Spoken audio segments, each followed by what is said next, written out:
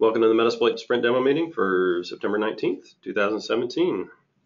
Uh, let's take a look at some community stats. We've got um, a, a, different version of what I usually show about what the current PR queue looks like. And I think, um, Brent, you can correct me if I'm wrong, but I think this trailing end is not set yet, like it's still floating. Yeah, it'll float until the end of the month. End of the month, right on. So these are kind of just kind of wherevers. Um, but you can kind of see a trend over time from for the last uh, two and a half years or so, a little over two and a half years, uh, maybe three, um, of uh, uh, around features and enhancements, um, Rapid7 related ones that were open and closed versus uh, community or total, including Rapid7, I guess, ones that were open and closed. Hmm. Um, over time. Geez, we're really busy uh, around April this year. What, yeah. did, what did we do?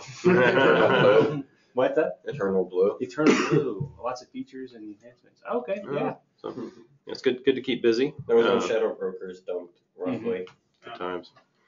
Cool. And um, we'll look at here's the uh, current uh, uh, leaderboard for top committers this last month. Um, Dave, you're, you're, creeping up on them. That's Still good. so yeah. far behind. yeah, well, it's a rolling average, right? So. Yeah, there you go. And there's you know, and so big thanks. I see OJ and, and Hoodie and Jeffrey, tons of Tim, tons of uh, you know people up there. You know, thanks to everybody uh, who's been contributing uh, to Metasploit.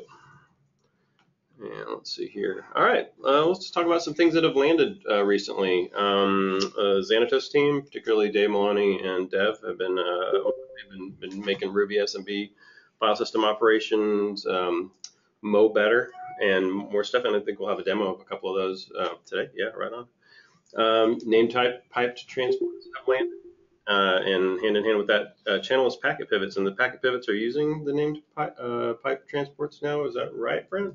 The improvements around the pivoting that have gone in now, so that you're not you don't incur uh, more latency as you stack oh, yeah. pivots as you will. Is that is that around? Are they using the is it the named pipes that are making that?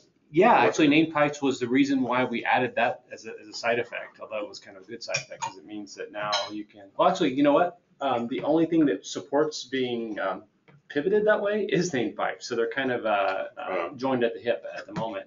But uh, we're looking forward to basically adding support for the other stages as well over those pivots. Yeah, cool.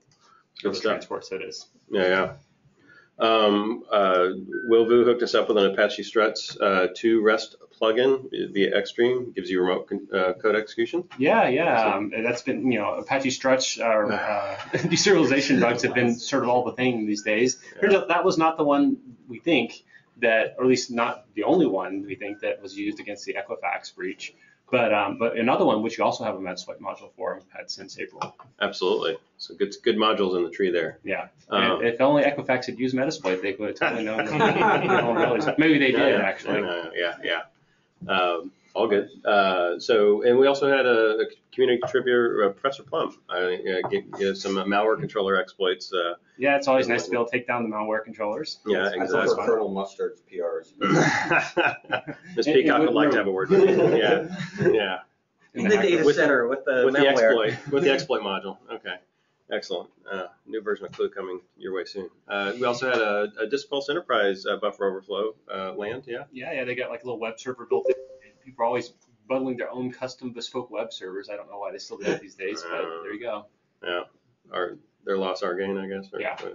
Um, Java Android shell expansion? Yeah, so so basically we had a problem where we just called binsh uh, from from Java or Android interpreters, uh-huh. which had the effect of one not actually escaping or expanding any environment variables um, in your command line argument. And two, um, none of your environment actually got inherited either. So you would always end up in like slash um, rather than the oh, current right. working directory. Um, now it actually does sort of a bin sh on top of bin sh sort of thing. So it gets a nice shell expansion and gives you a, a nice environment you can actually do things in rather nice. than uh, a pathless, environmentless, um, dead shell.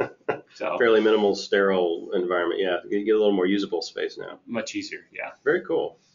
And there was a there's a Docker uh, daemon TCP in exploits and quotes here. I, the reason I put exploit in there is because this is another one of those sort of um, code execution by design sort of things. Yeah. yeah. So yeah, hooray for Docker. Yeah, I think Dev Mohanty landed that one. Yeah, right on. Very cool. Good times. Nice. So let's talk about things in the works. So we had a Metasploitable three uh, capture the flag um, at United, uh, Right. which uh, James will give us slow down a little bit, and then uh, but we've got one coming up at DerbyCon this week. You're being, being prepared to run one out of the uh, Rapid 7 booth. So if you happen to be around um, the Rapid 7 booth at DerbyCon, we'll be trying to do a reprise of the Metasploitable 3 Capture the Flag. We hopefully we've got rid of a lot of the initial major kinks and it'll go really smoothly up there. I don't know. That's a, that's a convention full of hackers too. We might find a whole lot more. Yeah. Who's actually managing it while we're down there? Uh, Brendan and me will, will basically be the, the go-to guys and we'll know how to pull the plug in case things go south too. So James, stay by your phone. well said. Uh, multi-panel console is uh, in the works. Bill's yeah, been, been, been Bill's tweaking on working that. one. Yeah. So the idea there is, uh, well, last year we had uh, this this notion that um, actually Jenna Magius uh, put a PR up where um, uh, we do some terminal tricks so that when you have like a background thread running, it will overwrite all the stuff that you're doing in your foreground. However, that's one of those, uh, you know, the best intentions sort of PRs, uh, or what, what do they call? Um, no good deed goes unpunished kind of things. yeah. And uh, so basically that caused a lot of bad side effects as well. So we got it disabled right now, but um, there's a there's a new approach that we're looking at, and, and Bill's been been working on a proof of concept for um, making so that background messages can actually be redirected to a different window or even a different pane within the same window um, using tmux, and that way you can keep typing and your messages can keep scrolling, and the two don't interfere with each other. So uh, hopefully we'll have a, a proof of concept for that uh, working pretty soon. yeah, that was very nice. And DNS transports. So this is funny. So on Twitter, Vis basically said, "Hey, uh, you know, I can't seem to get uh, DNS tunnels to work with an interpreter, and all the DNS tunnels that are out there are all crashy and broken. So here's a neat stager." And I happened to notice it, and I said, "Well, I'll just make a Metasploit issue around that." And then this was like, "Oh my God, that's great! Thanks for putting this on your radar." And then um, someone else piped in, uh, I believe um, Semper Victus piped in and said, "Hey." Um, you know, maybe we could uh, build something like this. And then the original author piped in of the, of the stager said, oh, don't use this. Actually, I have a whole branch where I've added DNS transports to Interpreter already. And uh, can you guys help me like clean it up? So actually that's working right now. It's kind of funny. I just kind of said, it would be nice to have DNS transports. And someone just said, hey, I've got it. Was Almost it uh, done. was it CJR? Yeah, I think so. Yeah, he he worked on that years ago. I, I'm never sure if he actually had it working or not. For the record, let me look it up here just to make sure I got the right attribution. But, uh, but you, can- you can go, go on Yeah, ahead. right uh, domain fronting is also a, a pretty sexy thing um, that's that's in the works. Uh, the idea here being that um, if you can basically uh, control an asset that's within, like say, a whitelisted domain or within a whitelisted uh, set of IPs, say on AWS or within some sort of hosted web application service, and then you can make your traffic look like it's legitimate for those kind of things by changing the host headers and, and application headers, cookies, that sort of thing.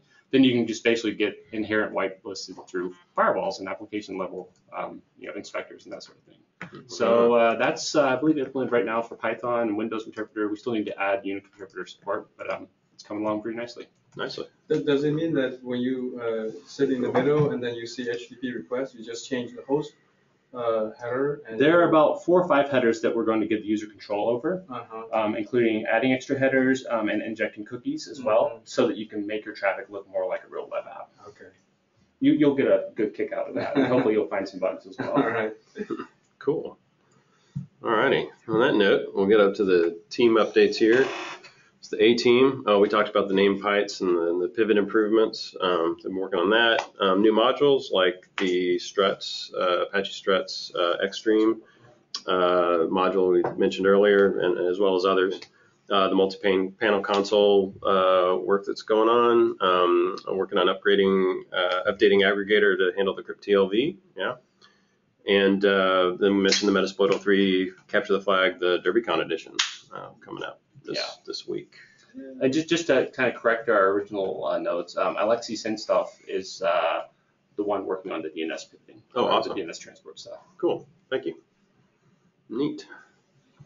And the Xanatos team, um, SMB2 file system operations march, marching forward. Uh, write and delete uh, are, are in, and we'll see a demo of those. Uh, more database related work. Um, I don't know if we've been actively this this last cycle if we've done any the Metasploit 5 POC interface work, but no. Okay, probably more to come. Uh, metal extension loader. Um, if we don't run out of time today, I've got a demo of that. Um, that should be hopefully landing before the next uh, meeting. It needs a review um, and, and and some wrap up. But that's basically Xanatos. Time for demos. All right. Caitlin is also clapping for you. Yeah, yeah. All right.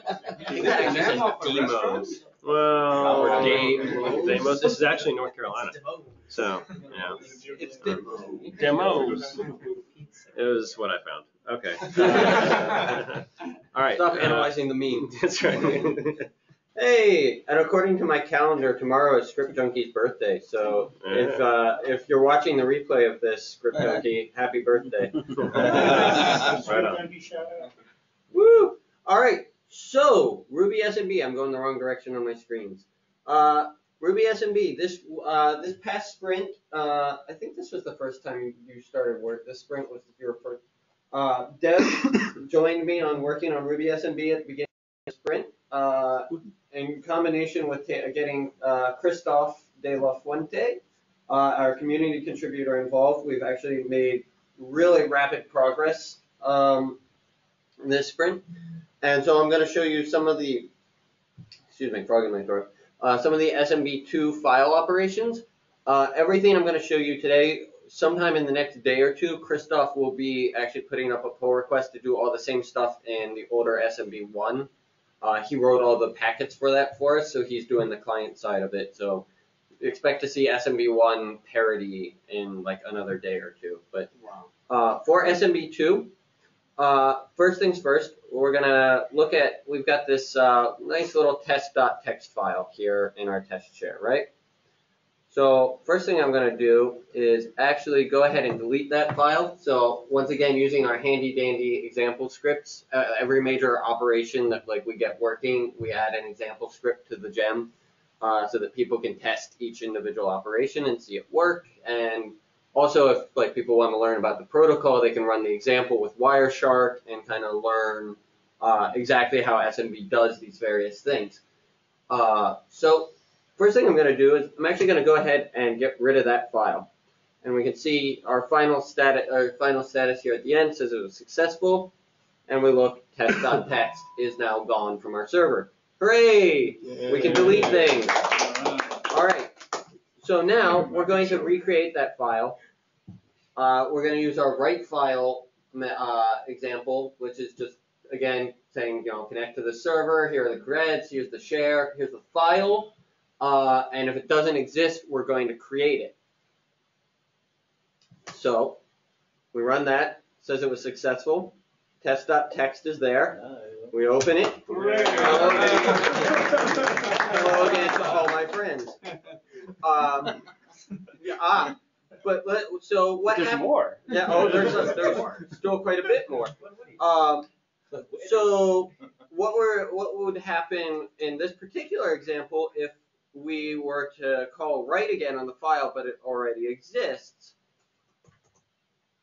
It depends on how you opened it, right? Right, it does. And for the purposes of this example, we write, we write goodbye in, and because of the options, well, well, Oh, just over. I over I overwrote a space, but uh, it started it started from the beginning of the file again and overwrote only as far as you told it to write. So you can start you can imagine how you can actually start to do very precise writes uh, in a more now in the example script here. Um, let me pull this up just so you can see it.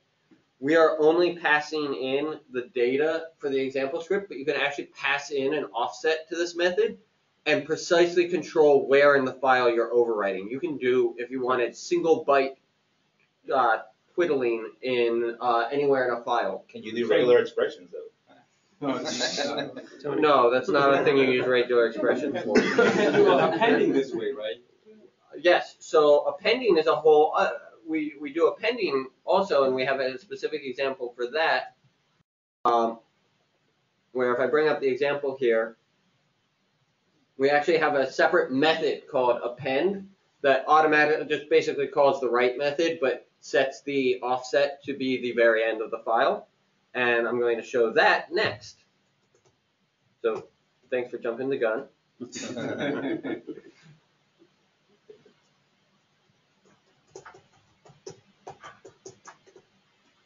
right. Data. Oh, bollocks. I did something wrong with my quotes. What did I do? Nothing really, you just have a space. They may not like that exclamation mark, I don't know. Maybe exclamation mark? What? Oh, Shouldn't you can escape it. exclamation mark is- There we go. I, I don't know. I must, I must have put a control character in there that I didn't mean to at some point. Uh, okay, so it says that it completed successfully. So if we reopen this file, we can see that we have appended successfully to the end of the file. And like I said, you could also do precise, uh, precise writing if you wanted to. We don't have that specifically set up in the example script. But when I'm done with this file, I can just run back in here and delete the whole file. So read, uh, and we show, of course, showed read uh, on the previous sprint demo. So read, write, append, delete, and uh, also even the ability to then close the handle to the file are now all complete. And Dev has actually already begun work on uh, renaming files. So taking an existing file and changing the, the file name to something else. Uh, and like I said, Christophe de la Fuente, I talked to him last Friday. He was just about, he's in France, so he's on a time zone difference here, but um, he was just about ready to submit a PR for all these same operations using the exact same API that we developed uh, for SMB1. So we'll have uh, basically seamless integration where the, say somebody writing a Metasploit module using this library will not at any point care whether they've negotiated SMB1 or SMB2. They will use all the same methods and they will all behave the same way. So is the next plan to convert the existing mixins to use this, or are we going to write a new mixin and then convert modules to use that? So I'm glad you asked. Uh, so the original plan we had had for most of the stuff we need to convert still in, uh, in terms of SMB and Metasploit framework is all DC RPC related in some way. We thought that once we had named pipes pretty much settled, we could just insert hand our existing DC RPC code a named pipe abstraction and tell it to write over that. It turns out our DC RPC code is written in such a way that the DC RPC code reaches deep into the existing SMB code to do a bunch of stuff. So they're basically so tightly coupled, we can't use it. So what we actually are need to do next is get some limited DC RPC support directly into Ruby SMB, uh, starting with the ability to enumerate shares. That's the first one we're going to do. Uh, 'cause it also makes sense for the client.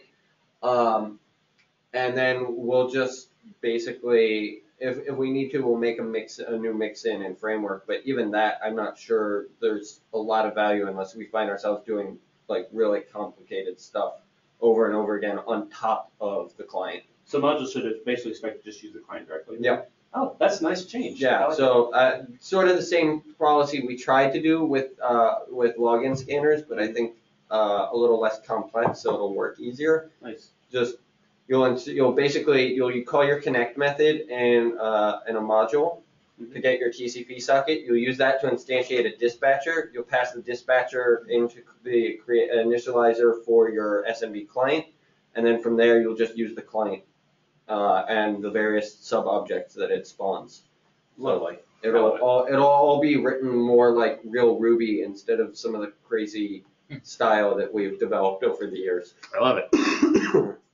I So like that fake Ruby. I'm Yeah. sorry. well, we just we don't crazy follow Ruby. Ruby, conventions. Oh, I believe that it's called um, faux Ruby. non-object oriented Ruby, basically. So very, very cool. Thanks. Yeah, Mark. thanks, Dave. That's good stuff. Thanks, Dev. Yeah. And Dev. And Deb. Thank you, Deb. We were both DM in Slack, and I always mistype their names. They are. We're basically the same person. Technically, we have less than two minutes left for a demo. All right. You want to demo the data? So I, yeah, so I would actually like a few more than two minutes to demo the, the, the metal extensions, but, um, I can just show it run real quick if everybody wants to see it real quick. I'll show it run real quick. Oh, I need to, go am I sharing? Yeah. What's a metal extension, Pierce? So a metal extension is a loadable module that allows you to load code. I'm Not sharing, Pierce. I'm not sharing? You're not sharing. Here, try that again. All right. Thank you. Um, so it allows you to, to dynamically load code on a, a session where you have Metal, the POSIX interpreter running. Um, it allows us to keep the core size of metal you know, to a minimum, and you can just, you know, it makes it easy for people to add functionality um, to, you know, what, what, for whatever they need without actually modifying the uh, metal itself directly. Um, so these are metal, these are compiled uh, objects, uh, C code that we build, you know, build an executable out of based on OS and architecture. Mhm. So in this case, we created uh, uh, for uh, First Swag uh, created a, a sniffer module similar to what we have for Meterpreter, Windows Meterpreter. And what we'll run here is we'll, we'll uh, I'm just I'm, I'm running in a VM, uh, uh, Ubuntu VM here, and I'm running locally just to, to showcase this stuff. I started up the console here. Hopefully everybody can see that okay. And so it's going should should make a connection to the uh, to metal there. Yeah. So let's connect I1. And so we'll say, all right, show me what you got. All right, this is a list of the commands that currently supports. Hey, you know what? I really want to do some network sniffing. Let's load the sniffer. Tab complete. Works. sniffer loaded. You'll see here that I've got a little bit of debug turned on. It says, oh, hey, I started up a process. So this is our, our extension running. And now if we do help, we'll see, oh, look, now there's these sniffer commands that weren't there before. Yay. Um, I'm going to skip part of the demo and show you. We just we'll do one capture real quick. Sniff, sniffer start. Um, on, so sniffer interfaces to list the interfaces. Tab complete. Sniffer uh, start. Uh, on interface two, say 20,000 packets. That's a lot more than we need. But the nice thing about this is, is it supports Berkeley packet filter syntax. So let's just say I want um, I want to see what somebody's doing for on their DNS queries and like port 80 HTTP stuff. So I could run this, and then you could say sniffer stats on on the interface because there's really nothing going on over here. Oh, let me go curl uh, Dave Maloney's favorite site, purple.com. Hey, look at that. I'm, I'm pulling some stuff. All right, now let's see what stats here. Oh, look, it got some packets and some bytes. Let's stop the capture. So we don't know, actually, I'll just dump it. We could actually leave the capture running. It'll just take a copy of the, the packets that have already been captured and allow the capture to keep running in the background. And so we'll dump this to my capture and it should. Of course, the demo gods are against me. Ah, I tempted fate by making a, a last minute change. In any case, I shouldn't have done that. Um, well, This is where the chef pulls the Pretty PCAP out of the that's where I pulled the PCAP out of the oven, but I, but I unfortunately I think I deleted all the PCAPs I had earlier. So That's a really cool mechanism, Pierce. How does it work? Um, I know like normal interpreters, like Windows interpreter, load it straight into memory. Is this a little different? So yes, it is actually, Brent. Uh, so this is this what what this one what this one does is it um, it actually uh, you, right now I'm working on the process hollowing bit, bit of it. So it'll start up a process without writing it to, disk, and it will use standard uh, standard I/O, standard in, standard out, standard error for communicating with the the, the, the extension process. Um, and over that, it will use TLV. So that's an established uh, format that we, that we use uh, for uh, communications between interpreters and framework already. Um, and it'll, it'll allow that allows uh, incoming requests for um, commands that the extension handles that aren't normally handled by uh, Metal. Metal will identify I don't know this one, but this this extension does and sends it along. Oh, It kind of acts as a proxy. So Um, do you store all the packets in the remote or you send them to the, to the, your console as they're being captured? So I store all the packets. Uh, the packets are, are they're not streamed. They're they're stored on the target. And, and this, this this command here, where I told it how many packets to capture, it will it will capture that many packets, and it's a ring buffer. It'll just keep going. Just, just so you'll, you'll get the last 20,000 packets at, at any given time that where you where you do a dump or you do a stop and a dump or a, a stop and a what's release is what we call for getting rid of the just just drop the buffer. I don't care. Okay. So when you do the when you do the dump, what it should do is it should stop it and then pull the. Uh, oh, in this case, it doesn't stop it; it just pulls the, the current ones over. I, I see you get the USB in there too. Was that was that intentional? Does that really work? Can it capture Uh, USB packets? I have n- I, well, it says unusable. Unusable usable is false, so I don't know if it can actually. Yeah, uh, good question. Probably a privilege issue then. It probably, yeah, Well, maybe. but are you you're using libpcap under the covers, right? We're using libpcap. so that means you can sniff Bluetooth too with the proper libraries link. Yeah, Uh, maybe. Yeah. Oh, it's gonna be so awesome. You have you to can- pull additional libraries in Yeah. for Right. those things to work. Yeah, that's what I said. So some of these things, well, that's because of the way it's structured. Um, when anybody writes an extension, uh, they can decide what, what libraries they need, and it's built and build it statically in, um, such that it, their, their extension will have the things it needs to, to execute. So you don't have if to, they- you don't have to drag along all the libraries, like in the old Plastic Interpreter, every library was sort of glommed into the, the main. That's right, that's right. you You can just target it for your extension and, and have it carry along there, so. That's sweet. So th- hopefully this will be done and landed by the next cycle, and we'll, uh, there- there's a documentation file called extensions that, that'll, that's there in, in my branch, and it'll be there for people to read about how to, how, all these details we discussed and how to create them and things. Woo! So, and maybe next time I'll, sorry. Thank you. Thank you, everybody.